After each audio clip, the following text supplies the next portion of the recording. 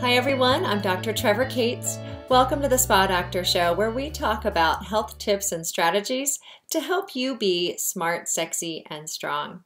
On today's show, I have as my guest Dr. Thaddeus Gala. Dr. Gala helps clients reverse chronic health issues. He's helped over 2,500 clients and was voted the number one chiropractor in Southern Oregon, in addition to receiving the prestigious Clinical Excellence Award.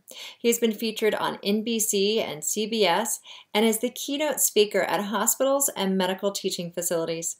He is the, also the founder and medical director of Complete Care and the Institute of Natural Disease Reversal.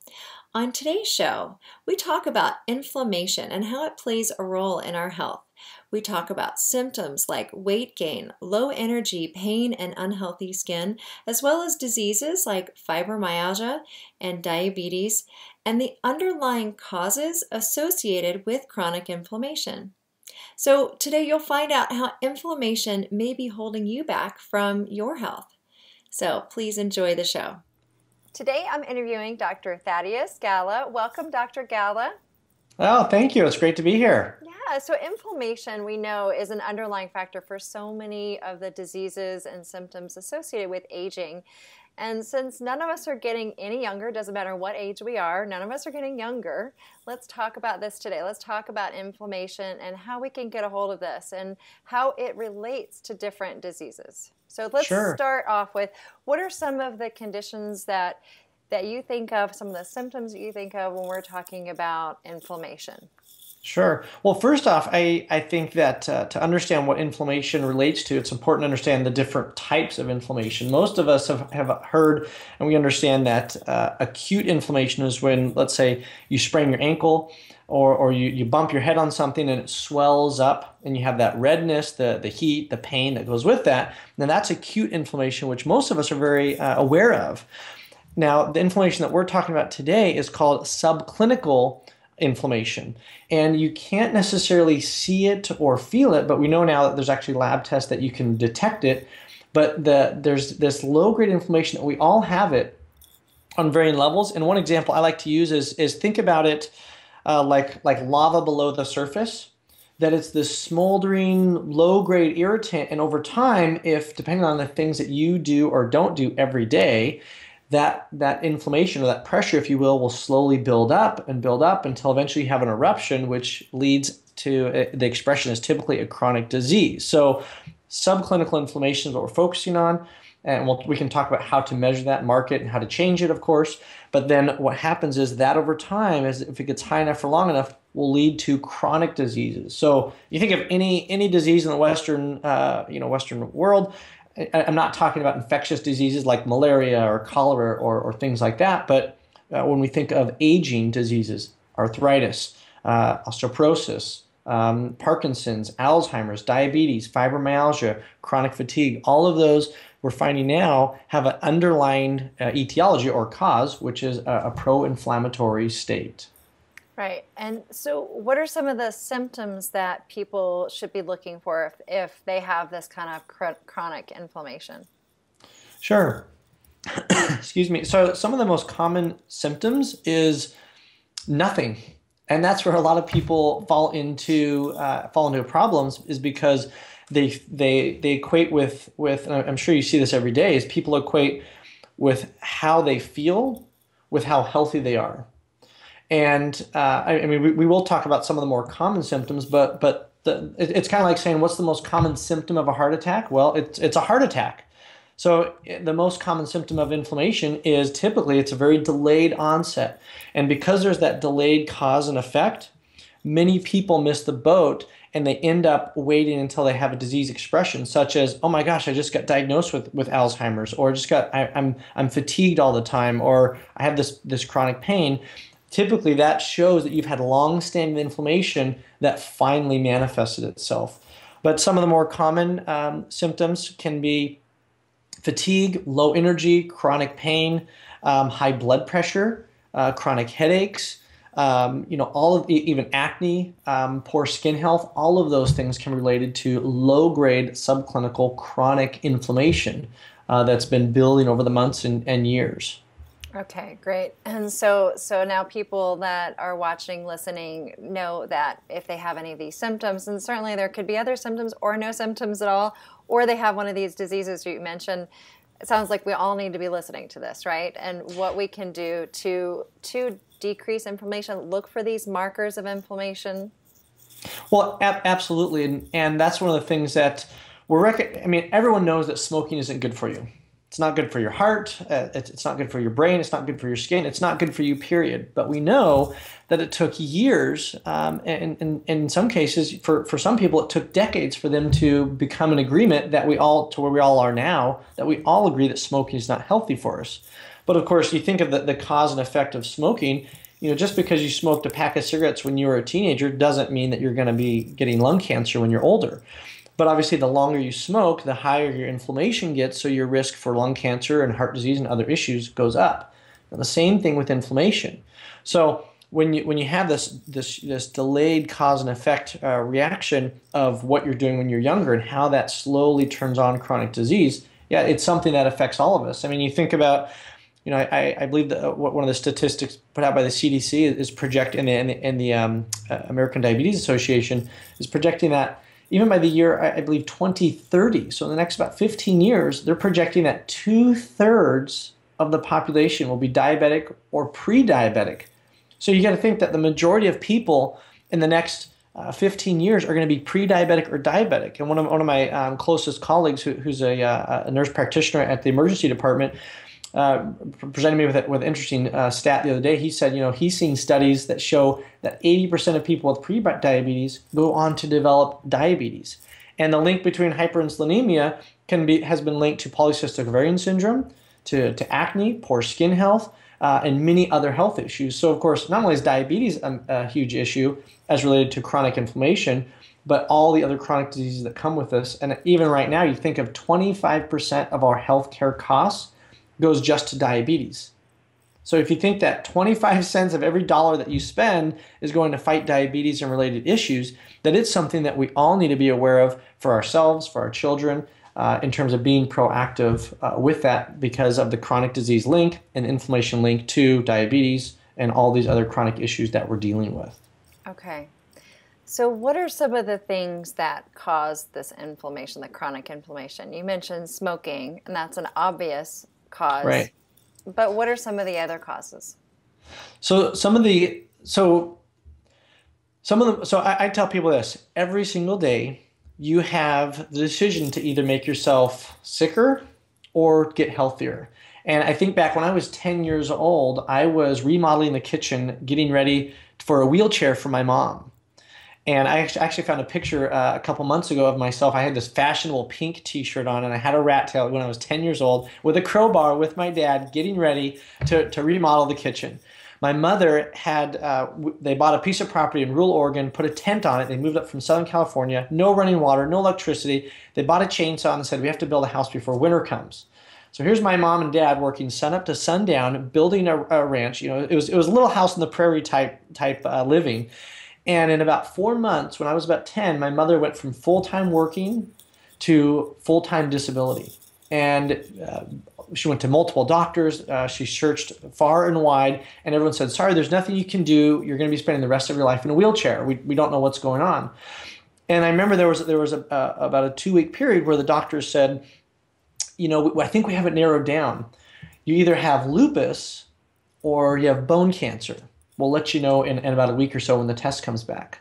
So of course our family was on pins and needles during during that time, and um, later turned out that she had fibromyalgia. She kept looking for solutions. She had chronic fatigue. I mean, she couldn't even, uh, you know, a good day for her, her was she could go down and check the chickens and come back, and that was the extent of her day.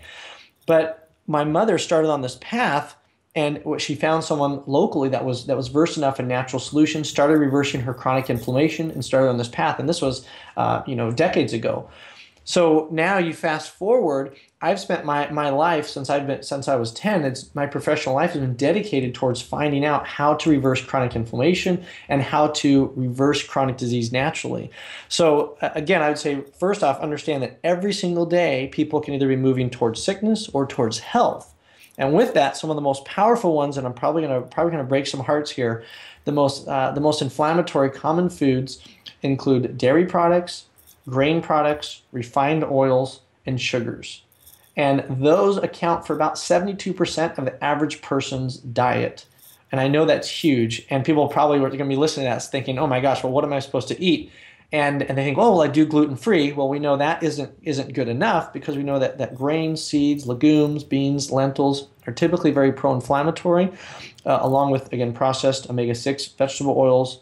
Um, of course, trans fats and, and sugars are some of the biggest inflammatory foods. And just getting that out, you know, in, in a month or two, uh, you can see, you know, I've seen I've seen, seen people lose anywhere from five to, to 47 pounds in in two months. Their, their chronic fatigue goes away, their inflammation go down, their, their chronic pain, and they they start feeling better uh, almost immediately within the first couple weeks or first few months. Okay, so diet plays a huge role in inflammation, and you mentioned some of the foods that you think really increase inflammation. Um, what are some other things in, in addition to diet? Is are there other things that you think increase inflammation? Absolutely. So the other things that increase inflammation, uh, and and first off, I tell people that I, I, say diet accounts for probably about seventy to eighty percent of their health. The uh, the other things, of course, that play a huge role in that can be emotional stress. So whether you're stressed out at job, you're, you're stressed out at home, uh, stressed out with, with finances, uh, an emotional trauma, all of that can can elevate uh, different inflammatory inflammatory chemicals. So the emotional stress of it, of course, environmental toxins. Uh, so if you you know obviously just just look around your vi- environment, and obviously we're exposed to you know as you know we're exposed to chemicals all day long by either what we're putting on our body uh, from the pans that we eat for, eat out of, or the the plastic bottles that we're that we're consuming food from. So those toxins are are all over the place. Uh, the other thing, of course, would be would be exercise. Obviously, everyone knows exercise is good for you. Clean air, clean water. Uh, those would be some of the biggest ones where you have the biggest levers and impacts. So obviously, not smoking, exercising, uh, reducing stress in your life, avoiding environmental toxins, and having a clean, healthy environment. Um, and then the biggest one that I'm a proponent of is nutrition because mo- most people will find a reason or excuse to not exercise, but most people will not find a reason to not eat for a month because a lot of people can go a month without exercise, but, but no one can go a month without eating uh, intentionally and, and, uh, and, and still be functioning at the end of that time. Okay. Great. So um, you mentioned the foods that are, are more pro inflammatory. What are some anti inflammatory foods? What are foods that we should be eating? so the foods that I suggest people not be or uh, be eating. So, so to be clear, the foods that I suggest people do consume and eat more would be typically foods without a label that don't come in a package. So when you think of your grocery store, you think of the aisles. So you think of your lean, uh, lean grass-fed meats, uh, your omega-3 eggs, uh, lots of, of fresh produce, and then occasional fruit and typically that will have a huge impact on, on people's inflammation. Again, I, I, one, one of my favorite professors when I was in, in school years ago said, stay away from the aisles in the grocery store. The aisles are death. Stay away from the aisles, stay on the on the perimeter and where your meats and, and veggies are, and that'll be a huge change and a huge improvement just by consuming more of those foods. Okay, great. And you mentioned uh, other things that are particularly helpful or um, making sure your environment's clean anything else you want to say about that? I mean, I think that, that you know, clean water, cl- clean air, obviously, are really important places to start. Anything else that you would suggest around environmental issues? Yeah, I mean, a lot of it can be situational. Of course, if someone, you know, if someone's living in a, uh, you know, in a, in a in a city or near an industrial part, you know, obviously that that's that's something completely different. But yeah, I would say go through and and as best you can try to clean up your body uh, and your environment and your space from um, you know trying to get back to a more natural state. So looking for you know if you're using shampoos and conditioners and soaps trying to find things that are more natural which even that can be confusing because you know so many things have the label natural on it today that it can be overwhelming. And, and you look on the back of the label and you can't even read or understand half the chemicals in there but it says natural on it so getting back you know a lot of people even just using you know instead of your average lotion if you don't have a good quality lotion that you can understand what, what it's in it even using something like coconut oil can be very healthy um, you know a, a, glass water bottle versus a plastic water bottle uh, that that's reusable and they, they have some now that are great that have you know it's a, it's a glass water bottle but it'll have like a rubberized protectant around it, so it'll be durable. You can take it to the gym, throw it in your car wherever you go. So so looking through your day, trying to get rid of the plastics, the chemicals. Um, uh, you know, even you know, I, am not the one that's necessarily versed on um, uh, radiation and, or uh, electromagnetic fields from, but you think about the cell phones that we're having now um, and and how that you know people with Bluetooth and and cell phone uh, radiation, uh, as well as uh, wireless internet, and all these all these things that we have we don't have a long enough time span to really test and see how our bodies respond to that, uh, both really both short and long term, and the effects. Just like smoking, it took years, but now we all know that it that it's extremely harmful. Uh, you know, obviously, just like you know other other big ones, you know, DDT, Agent Orange. You know, it's just a matter of time before we find that our bodies do much better when we're chemically free. Okay, great. Um, so let's let's back up for a minute. I want you to some of the things that you talked about that are related to inflammation. Some people might have a hard time understanding the connection. So let's talk about weight gain and how that is associated with inflammation. Sure.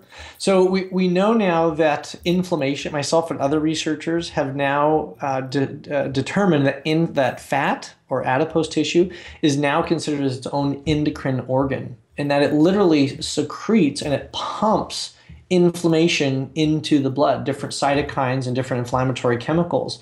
So if you know if you to think if you're 10 to 15 pounds overweight, that that can actually lead um, to, to, to, more inflammation in your body. And there's certain markers for that. There's certain lab tests. One of them, uh, which which I know the American Heart Association and the, the CDC issued about, it's been about 12 or 13 years ago, issued a joint statement saying that HSCRP should be tested for for health. And, and, and many studies recognize that more than cholesterol. Now, everyone's had their, you know, heard of cholesterol or had their cholesterol checked, but very few people, even healthcare providers, are even aware of HSCRP, let alone have it tested or test for it in their patients. So, getting your HSCRP tested as well as your homocysteine and a few other inflammatory markers um, are crucial for that. And we know that when you lose weight and you increase lean mass, that HSCRP and inflammatory chemicals start to reduce and start to drop off um, in your body and in uh, and in, in studies that that's been clearly defined. So when you think about all the things that people say, oh yeah, you don't want to be overweight because it affects your heart, it affects your joints, it affects your brain, all these things because of the inflammatory link. So when you're overweight, your body produces more inflammation, which increases your, your risk for chronic diseases, uh, you know, including, you know, oftentimes polycystic ovarian syndrome, heart disease, cancer, diabetes, uh, metabolic syndrome, you know, et cetera, all those kind of things. Okay, great. Thank you for explaining that. Um, and then another thing that is you um, have talked to us about is low energy, right? Fatigue being being a, um, a sign of inflammation. How is that connected?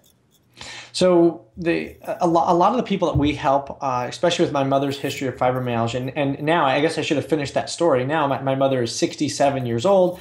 Uh, she's our lead health coach. She's on zero medications, and she just started running 5K races a couple years ago and winning them in her age group. So she's awesome, and and certainly not only uh, you know one of my initial in, inspirations, but ongoing because of seeing how healthy she is. So as a result of all the all the work and years of research that we've done, is we've naturally gravitated. Uh, you know, we have the, this huge fibromyalgia type following, which people with fibromyalgia, of course, uh, the, the, you think of the chronic th- the things with that is chronic fatigue, chronic pain. Uh, fibrofog, which is the meant the, the, the clarity and, and confusion, um, uh, low, low energy, poor sleep, all of that can be bundled together. So you think of like someone for my, for instance, my mom. She's never been overweight, and my mom has always been been fairly thin and and lean, but her inflammation was very high.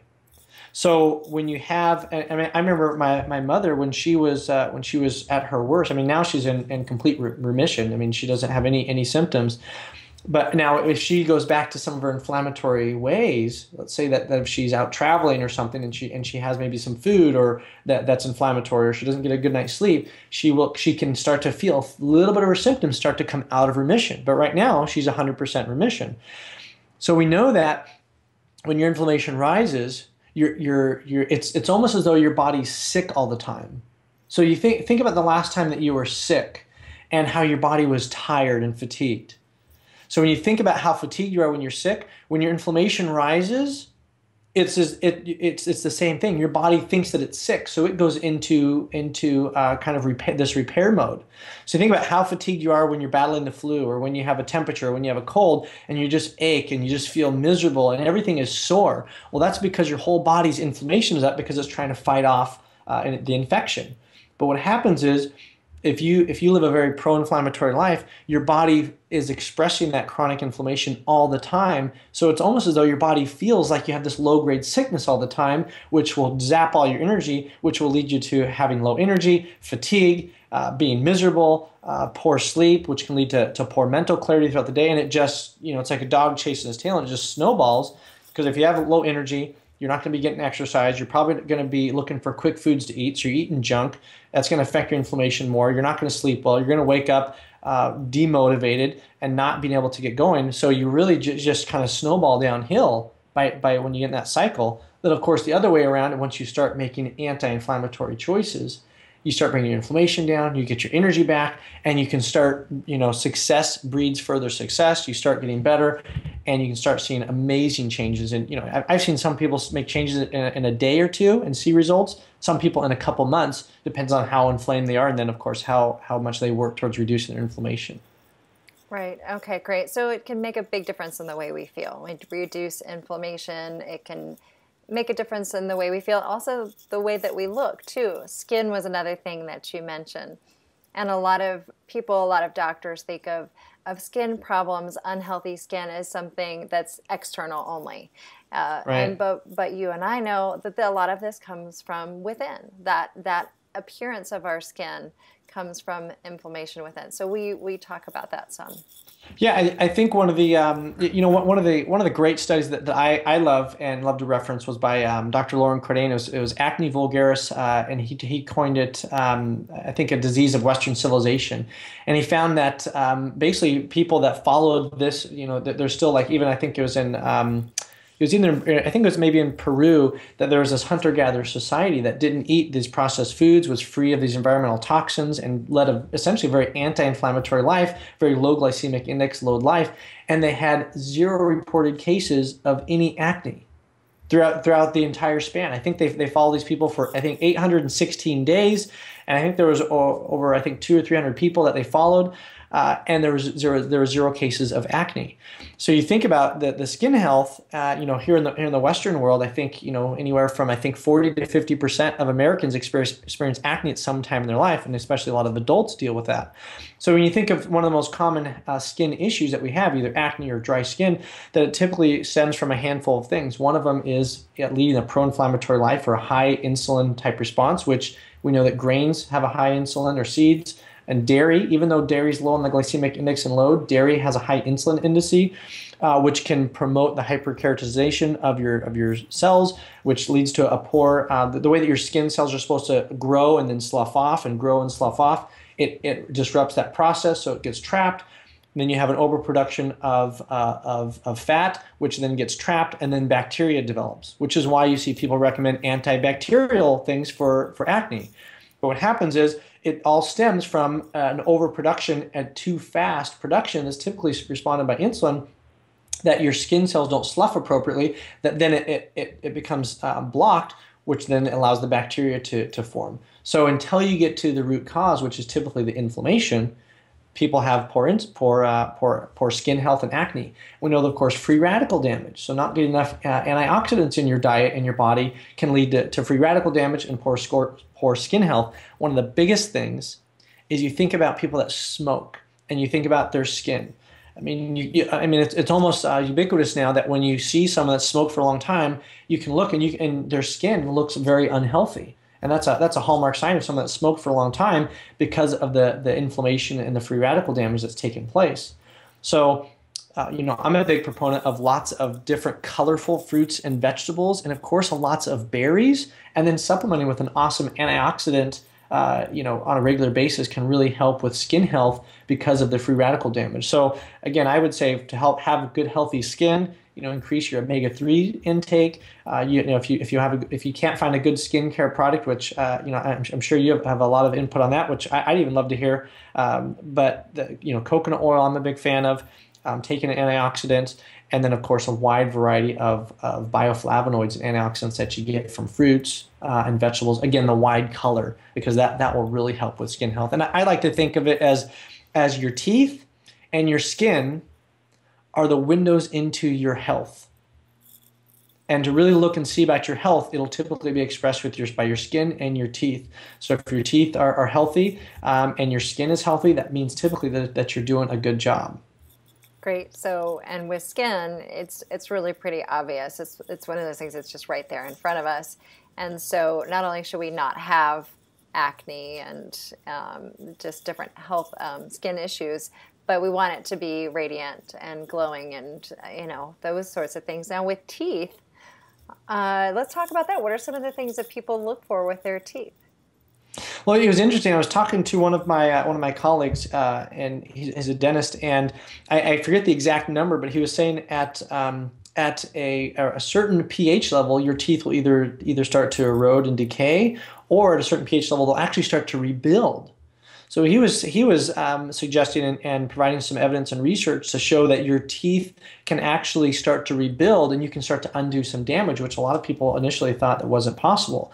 So I would say a couple things if you if you need to have a, a, great study that, that I love, if people people like to read and like to research, there's a great uh, quick. Uh, it's, a small book, but it's called Pottenger's Cats. It's an awesome book that was that was come out. Are you familiar with, with that book or heard it? it? It's one of one of my favorites to reference people to. Um, but I would say a couple things. If if you have if you ever had braces or if your teeth aren't aren't straight, then that typically suggests one of two things: either your grandmother and or your mother and or you had high inflammation and, and, and poor diet growing up. Because we know that if you have, uh, uh, research shows that if you have a healthy grandmother and healthy you, or healthy mother and then healthy you, that you can have a very, um, very um, healthy uh, teeth production. You don't have the crowding and, and the need for, uh, for, for braces down the road. So that can give you a window into your past. Going further, of course, cavities are going to be a huge aspect from that. Now, I'm, I'm not a dentist nor am I pretending to be, but we know that there's plenty of research to suggest that by, by having a, um, a healthy anti-inflammatory diet, which again is, is lumped in all the things we talked about, can and a healthy inflammatory lifestyle can reduce your risk of, of, future cavities, and then of course all the complications that come from uh, from that dental health. I mean, and you think about um, you know how many you know hunter-gatherer societies that that don't have any, you know, you can go far back as Weston A. Price and the work he did in the 20s as, as a dentist. And, you know, uh, um, that's a very difficult book to read. Do not, I would not recommend reading that book. That one is, that one is tough to get through. But he found that people that, that remained on a very natural hunter-gatherer type, type um, diet, or the paleo diet, if you will, did very well uh, and they didn't they didn't have any cavities. They didn't have any dental crowding or the need for braces and um, and and their their teeth and their hygiene was wonderful. And of course, they had no dentists. They didn't have dentists then, and they didn't have ways to brush their teeth. But now, of course, that's a huge part of our, our, our society. We're told we're supposed to get our teeth cleaned every six months. You know, you go in and get cavities. You know, so many people get braces, but that's all treating the symptom. It's not getting to the cause, which is what we're of course talking about today. Yeah, thank you for bringing that up because I think uh, with teeth, it's just not one of the things. It's kind of like skin, but maybe even more so that, you know, we go in to see dentists and orthodontists and they just fix it all up, they make it look good, and we don't think about right. What is causing that. So certainly it makes sense. Just just like other parts of our body are going to grow and you know be healthy, we certainly want our teeth to be that way too. And and I know that uh, you mentioned the pH, and so what what should the pH be in in the mouth? I mean, is that something that you know that you could share with I, us? Sure, and so so don't quote me on this, but I believe that, that the pH in the mouth that he was recommending, I, I believe it was either 4.5 or 5.4. I have to mm-hmm. check on that again. Mm-hmm. But he was saying that at, at when if your if your mouth is too acidic, then you'll you'll demineralize, and above that you'll remineralize. Mm-hmm. And that's the way that the pH uh, works in terms of, of the mineral the mineral balance and so forth. So that's the point that he was saying. You know, one thing you can do is, is get some home you know pH uh, test strips, and you can check your pH uh, you know in the morning throughout the day and, and see where you're at. And you can and you can kind of monitor that. And if your body's acidic, and you have to think, what are the foods that are acidic? Well, grains, uh, sugars and meats are typically very acidic when they get absorbed and processed in the body. Now, of course, you know, you may be asking, well, I recommended meats. Well, I did, but we also know that fruits and vegetables are very uh, alkaline. So we know that if you balance the fruits and vegetables with lean meats, then your body is typically into a more of a pH type balance. And so then you're you're you're no, more normal. But if you eat heavy grains and heavy meats uh, and dairy, then you're going to be very acidic. Uh, and of course, uh, uh, conversely, if you eat, eat very high, uh, you know, vegetables and, and fruits, you're going to be very alkaline. So that'd be the balance. So that's why you know typically people that eat lean meats, um, fruits and vegetables do really well in terms of maintaining a balance. But if you get a pH strip and you start testing, most people will be pretty surprised as where they are. And you can go, I think, on Amazon or you know online, and you can get a, a bottle of test strips that's pretty pretty cheap. And you can, I just keep it by. Uh, just by the, in the bathroom, and I, I do a combination of checking um, uh, my saliva pH and my urine to see how uh, how my health is throughout the day. That's just another barometer that I use uh, in addition to, to lab tests to see how my health is do, is doing. Right, and I'm and those dietary suggestions are important. I also think I think when I think of it, people having a really acidic mouth, if it's too acidic, I think of people having maybe heartburn, reflux, those kinds of things, where the you know, acid's coming up into the mouth, making it more acidic. In addition to what we're eating, so would would you recommend people also ad- adjust um, their you know look at their digestive system? Their gut health and and balancing that as well. Oh, you know, absolutely, and, and typically, no, I, I, think that that's a that's a great point, and I think one one of the things to to keep in mind is that um, typically when you get your body's inflammation down, uh, things like GERD. Uh, will, and, and acid reflux and so forth will start to resolve. Uh, you know, I, I just think back of one of my um, one of my very first assistants uh, when I got into practice, she came in and she and, and she listened and she would follow me with every patient every day. So she she got to hear the same kind of speech about inflammation and diet and GERD and all this stuff that we talked about. And so she brought her husband in after about a month of working there, saying, "Okay, you have to come in and you have to listen." And when we started, if, if memory serves me right, he when he when we started with him, he had he had very severe bloating, GERD, uh, inflammation, and, and digestive issues, and he was limited to two foods: bananas and chicken breasts. And that was just about all that he could eat that wouldn't disrupt his stomach. We started working with him slowly, get his inflammation down, and now his GERD is completely gone. He, he has a huge wide of food range of foods that he can eat. He doesn't feel bloated anymore. Uh, you know, normal bowel habits, all of that has resolved as a result. So now, you know, he's seen major results in health uh, improvements just by getting his inflammation down. His GERD was able to resolve. So, uh, you know, in the case of that, it's kind of you know the, the chicken or the egg.